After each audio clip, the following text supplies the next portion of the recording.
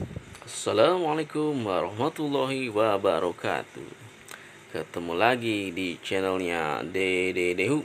Nah Kali ini kita akan belajar Membuat desain Sebuah kata Yang ada di Seperti di kayu ya.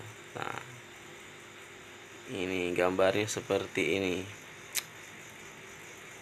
kita akan menggunakan aplikasi Pixelab untuk membuat gambar seperti tadi ya guys. Langsung saja kita buka aplikasinya ya di handphone